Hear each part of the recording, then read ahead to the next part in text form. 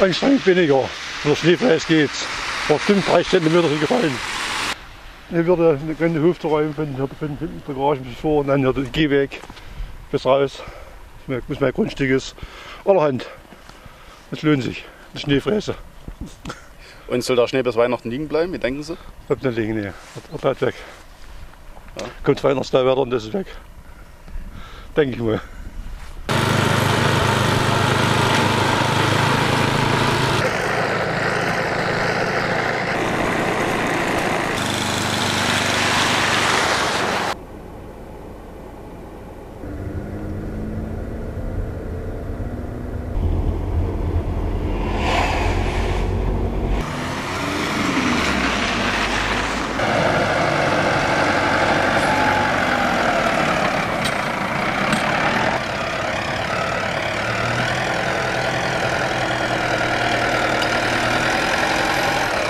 Also wir haben unsere Traktorfahrer, die uns hier beim Winterdienst helfen, die sind eigentlich sehr hilfsbereit, dass die uns haben, wenn wir wirklich viel Schnee haben, uns an bis ältere Leute dafür unterstützen.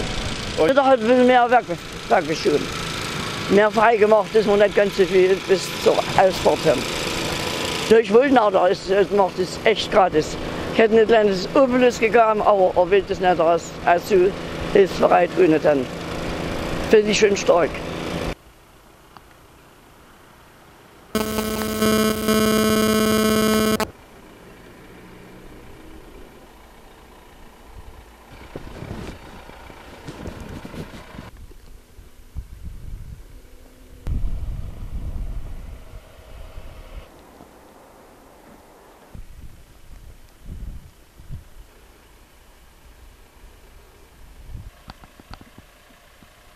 Schlimm. Wir waren gestern den ganzen Tag unterwegs und heute muss man 40 cm Schnee wegräumen.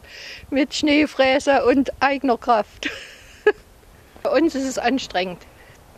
Da hier der Schneefluch immer Schwierigkeiten hat, weil der viel zu breit ist und dann auch viel kaputt macht, ist es immer schwierig hier bei den engen Gassen.